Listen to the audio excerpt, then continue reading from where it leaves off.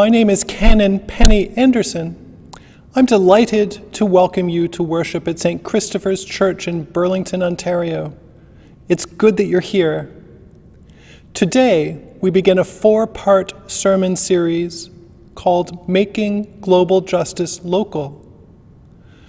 Our clergy will take up big questions, not to promote personal theories or to take sides in complex situations. Instead, we will offer analysis and challenge you to reconsider cherished views so that we can learn to move forward in challenging situations close to where we live. Today's subject is the conflict in Palestine and Israel. Thank you for joining us in learning and in action.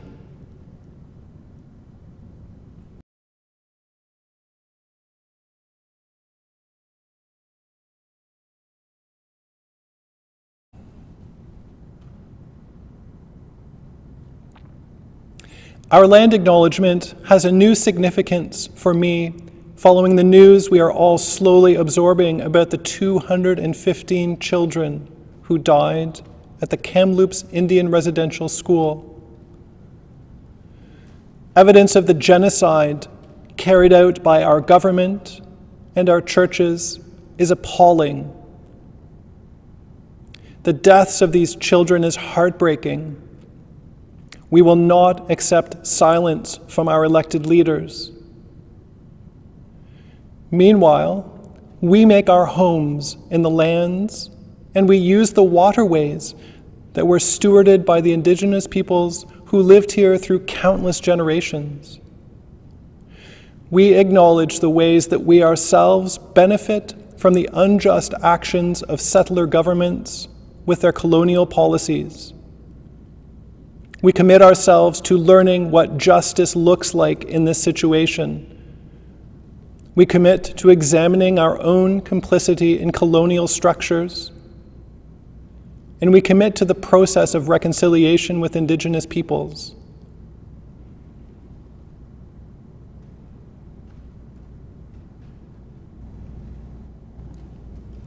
Let us pray.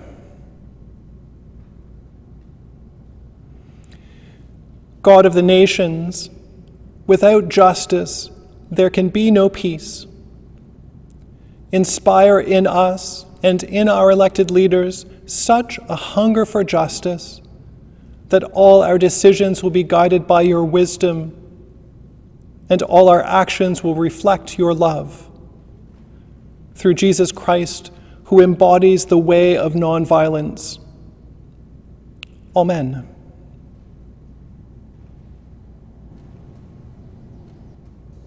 A reading from the book of Samuel. Then all the elders of Israel gathered together and came to Samuel at Ramah and said to him, You are old, and your sons do not follow in your ways. Appoint for us then a king to govern us, like other nations. But the thing displeased Samuel when they said, Give us a king to govern us. Samuel prayed to the Lord, and the Lord said to Samuel, Listen to the voice of the people in all that they say to you, for they have not rejected you, but they have rejected me from being king over them. Just as they have done to me from the day I brought them up out of Egypt to this day, forsaking me and serving other gods. So also are they doing to you. Now then, listen to their voice. Only you shall solemnly warn them and show them the ways of the king who shall reign over them. So Samuel reported all the words of the Lord to the people who were asking him for a king. He said, These will be the ways of the king who will reign over you. He will take your sons and appoint them to his chariots, and to be his horsemen, and to run before his chariots. He will take your male and female slaves, and the best of your cattle and donkeys and put them to work. He will take one tenth of your flocks. You shall be his slaves. And in that day you will cry out because of your king, whom you have chosen for yourselves. But the Lord will not answer you in that day. But the people refused to listen to the voice of Samuel. They said, No, but we are determined to have a king over us, so that we also may be like other nations, and that our king may govern us and go out before us and fight our battles. Holy Word, Holy Wisdom.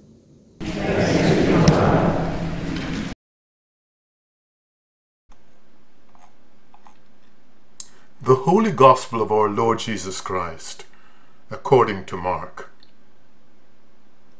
And the crowd came together again, so that they could not even eat. When his family heard it, they went out to restrain him, for people were saying, He has gone out of his mind. And the scribes who came down from Jerusalem said, He has Beelzebul, and by the ruler of the demons he casts out demons. And he called them to him and spoke to them in parables. How can Satan cast out Satan? If a kingdom is divided against itself, that kingdom cannot stand.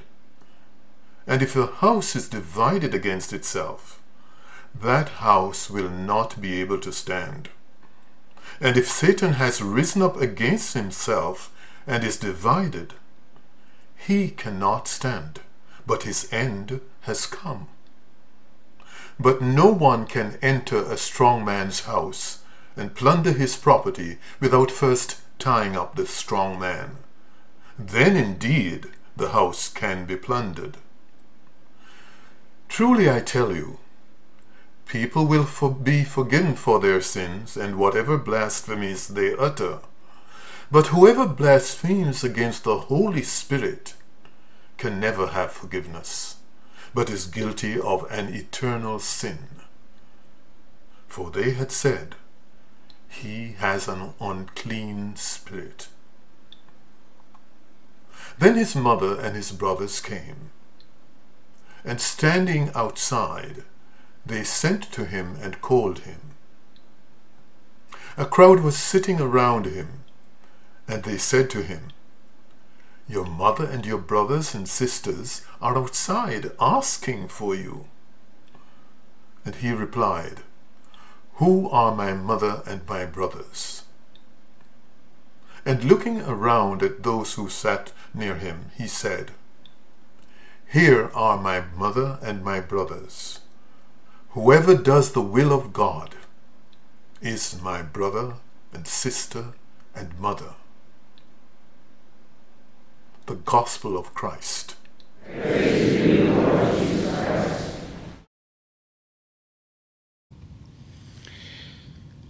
I pray I speak in the name of the one and triune God. Israel Palestine. Don't shout at me. Well, not altogether anyway. So much to say. During the, the recent crisis in, in Gaza, the Jerusalem Post, the newspaper, reported that tens of millions of evangelical Christians are expected to pray for Israel in their churches on Sunday. Well, fair enough, I suppose, fair enough, but um, I wonder if they also prayed for the people of Gaza, who had little protection against Israel's bombardment, no iron dome, and, well, they already live in appalling conditions. Better surely for Christians, for all Christians, to pray for justice and peace and a fair and balanced solution, and the dignity of all people in the region, whatever their faith or their politics. Now, I say this, as you realize, as an ordained Anglican cleric, but also one with three Jewish grandparents, one of them from a Holocaust family.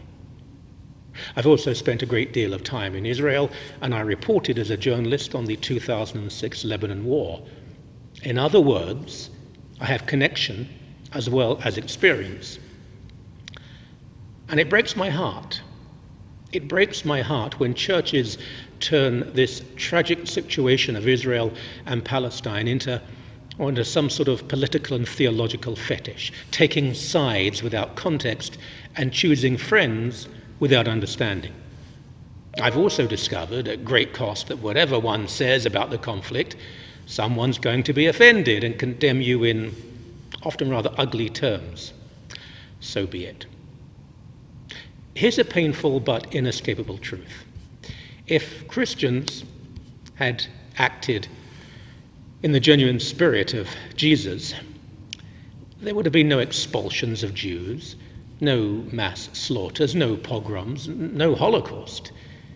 Anti Semitism was an open wound in Europe for what, 2,000 years, and it still screams its horrors.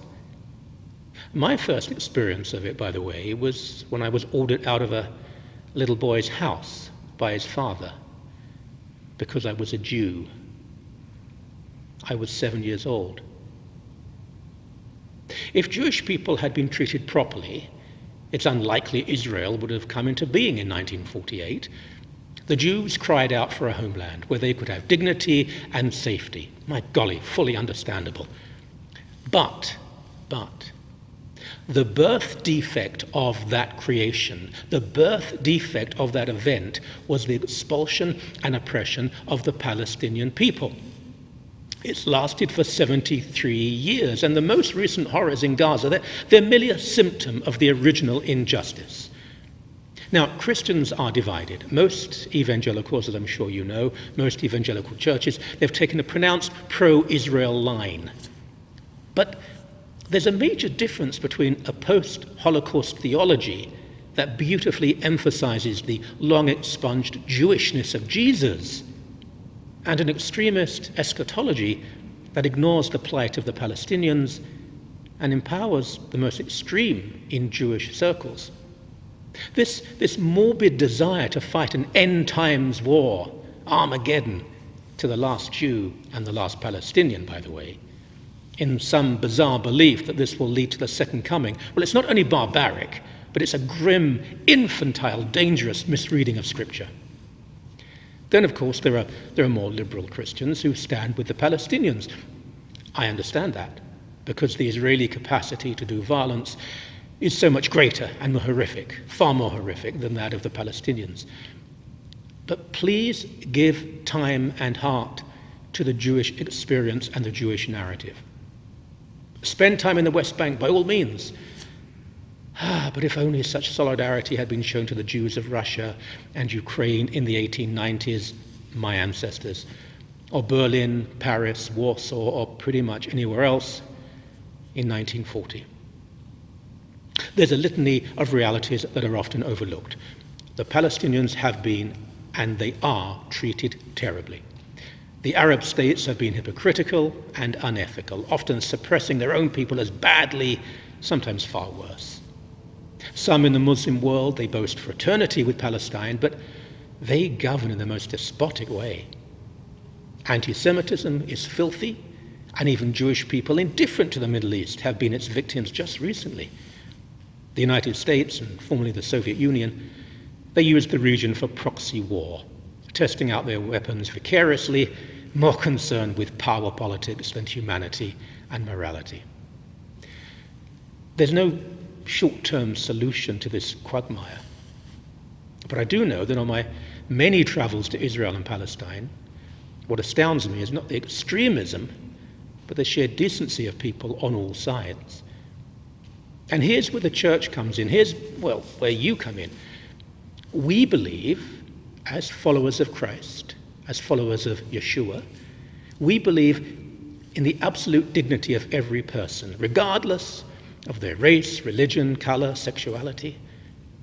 We believe in a Bible that calls for cycles and circles of war and violence and revenge and retribution to be broken, to be shattered and smashed like the evil mirror that they are. It's not only Jesus who says this, it's not just the New Testament, it's in the Hebrew scriptures too. It is not anti Semitic to want peace in the Middle East where Jews and Arabs can live in peace. Indeed, those few anti Semites, those who do hate the race of Jesus and Mary and Peter and Paul and Matthew and Mark and so on, they don't actually want peace for anybody. We have to go forward in prayer and in empathy. Now that's important. It's important. Empathy. Feel for the Palestinian forced from his home. Feel for the Polish Jew whose family was slaughtered and wants anywhere to call a safe home. Feel for the vast majority of people in that tiny strip of land, whatever their religion, who merely want to raise their children, love their family, smile, sing, and dance. A miracle? Well, there are precedents, especially in that neighborhood. It won't be easy, of course. I mean, I know that. Really, I know that. But then, Christianity isn't easy because it demands a complete transformation. We owe it to both of these victim peoples, yes, victim peoples, Jew and Palestinian, to show Christian love, Christian justice, Christian understanding of what is going on. Now, I can't give you a one, two, three absolute solution to this, and anyone who claims they can, don't listen to them. But I can remind all of us as followers of Jesus what we have to do love, justice, understanding, compromise, reason, knowledge. Most of all, love. Shema Yisrael Adonai Eloheinu Adonai Echad. One God, one love. I pray I have spoken in the name of the one and triune God.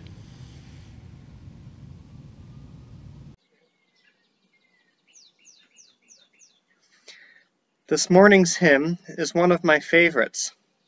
That's because of the text. It was written by a Canadian in 1968, so right in the heart of the peace movement.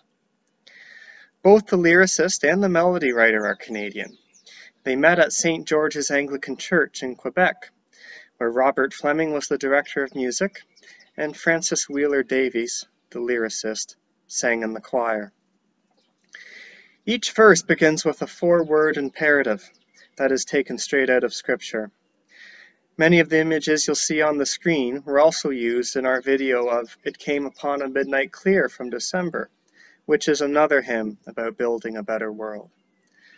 Among these is a sculpture of a peace angel by American contemporary artist Lin Evola, who takes decommissioned weapons and melts them into sculptures of angels. The last image is by another living American artist, James Janknegt. His painting is called I Make All Things New. Our choir this morning is an unusual composition. There are three sopranos, no altos, four tenors, and four basses. Usually the problem is not enough low voices, but the result is a rich sound, so it's all good.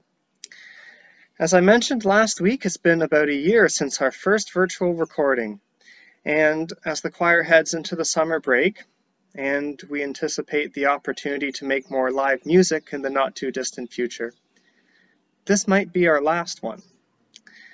I hope you'll join us in singing this prayer for peace.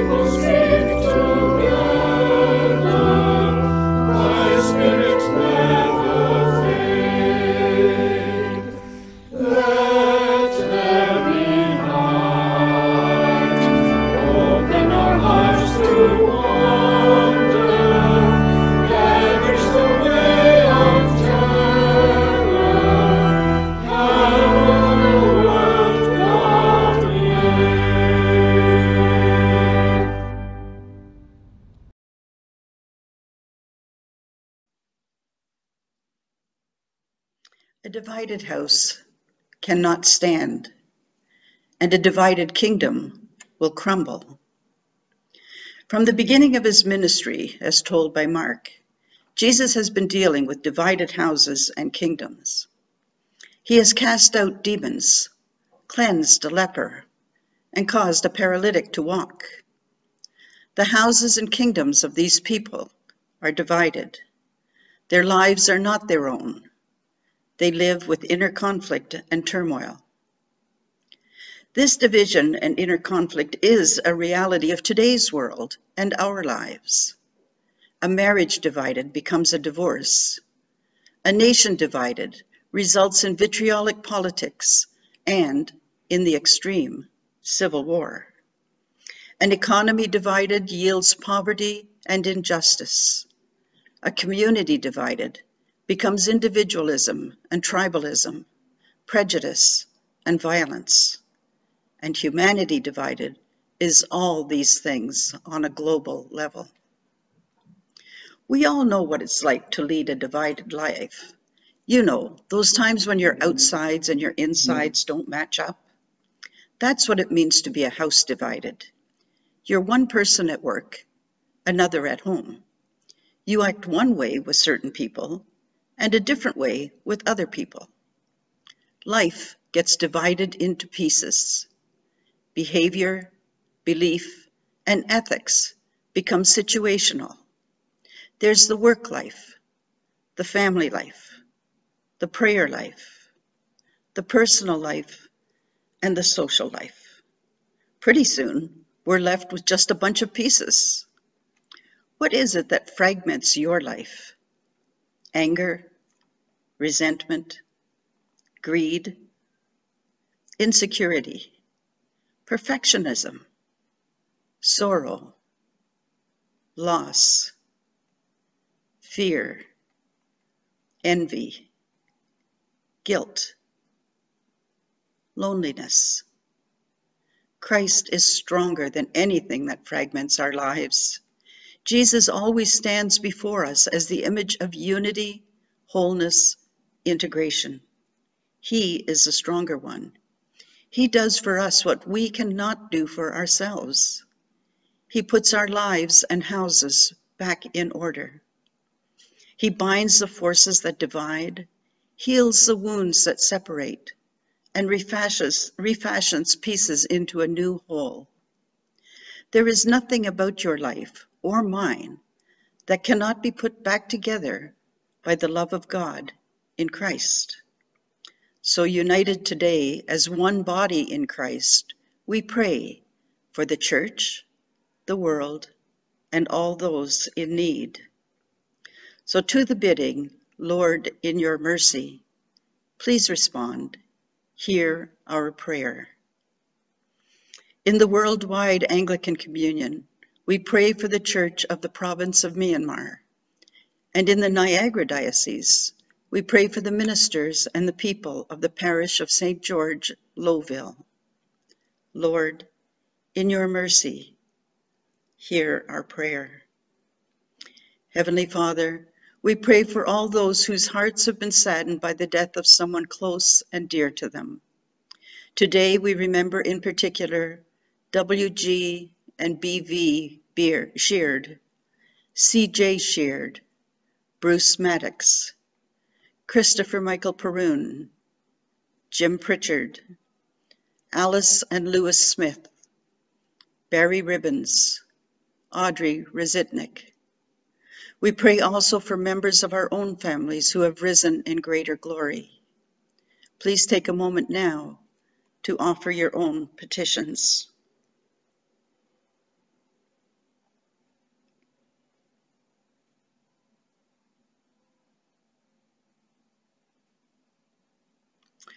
Lord, in your mercy, hear our prayer. Compassionate God, Bless all those suffering from physical or mental illness. Give them courage, hope, and peace in the knowledge that you are present in their pain and suffering. Lord, in your mercy, hear our prayer. Supporting God, as parts of the world continue to struggle to contain the spread of COVID 19, and others are in the process of reopening their economies and returning to their new normal. Help us to stay the course of social distancing and self isolation just a little longer, confident that there is a light at the end of this dark tunnel. We are almost there. Lord, in your mercy, hear our prayer. Creator God, we pray for those lost in the recent avalanche in the Rockies.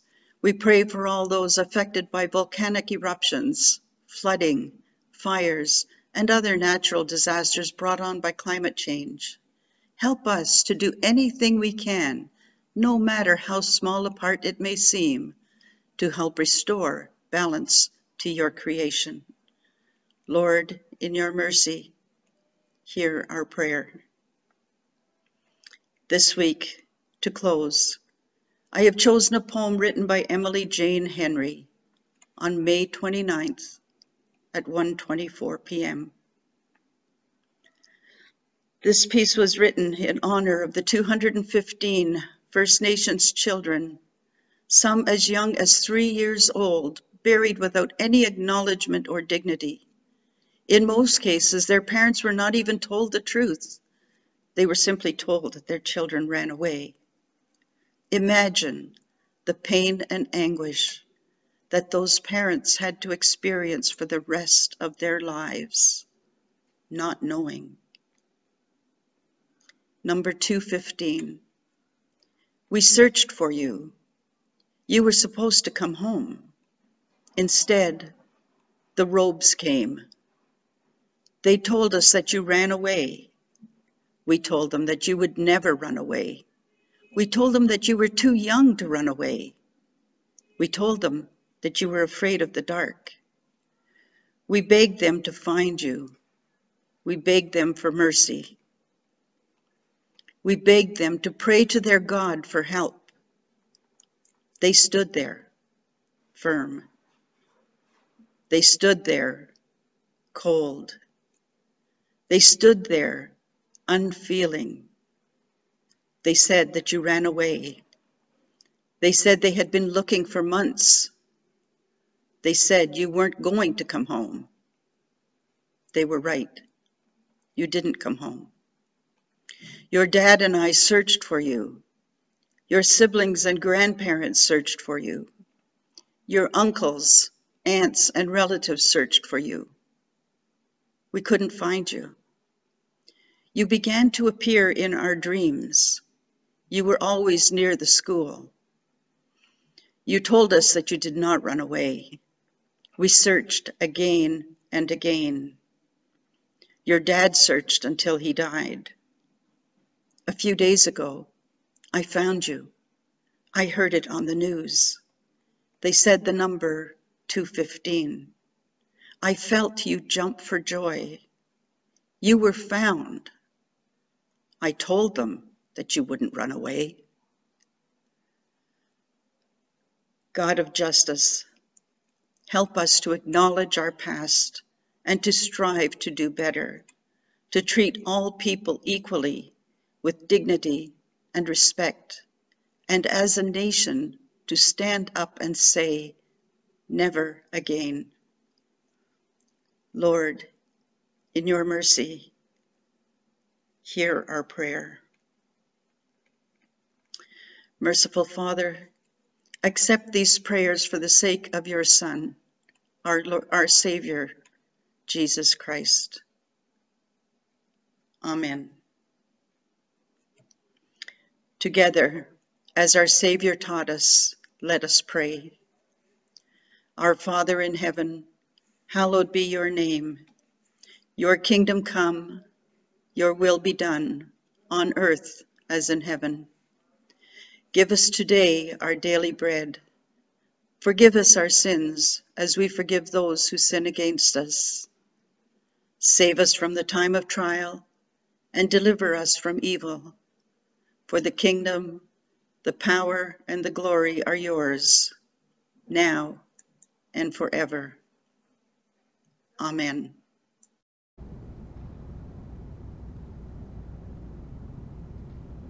Let us pray. O God, you walk with us through the places where there are no easy answers. Hear our prayers for those who suffer in Gaza and the West Bank and within the political boundaries of the State of Israel. Hear our prayers for peace in the Middle East and throughout the world. Through Jesus Christ, who embodies your peace. Amen.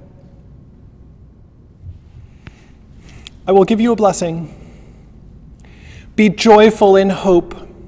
Be steadfast in faith. Be untiring in love all the days of your life. And may you be filled with the blessings poured out by the God who creates and calls and empowers us. Amen.